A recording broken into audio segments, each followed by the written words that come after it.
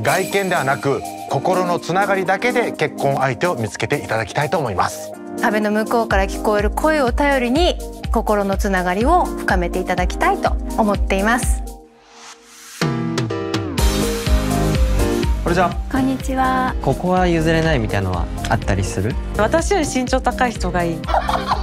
えー、なんか親近感あるな、はい、また話せたら嬉しい。それだけでめっちゃなんかうわって。爆上がりだよねそれすごい辛い。こうはいいって思ってないなって思う。会話だけで恋に落ちるんですかね。かなり難しくない？過去とかコンプレックスとか、うん、夜が一番怖いのね。あとは覚悟なんだよ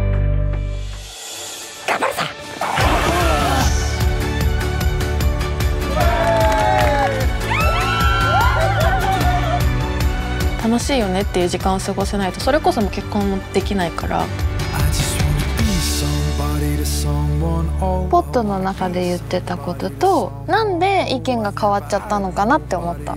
これだったら一人でいた方がいいじゃんってなる。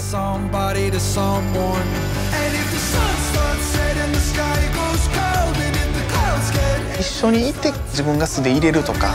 10年後も20年後も同じように横で笑ってくれたら。すごい幸せだなって信じたい。